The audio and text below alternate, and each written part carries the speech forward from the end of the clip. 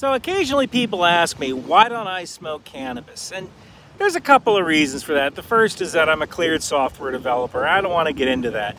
Second, how much do you think I can actually fit in my mouth at one time? I've already got a cigar.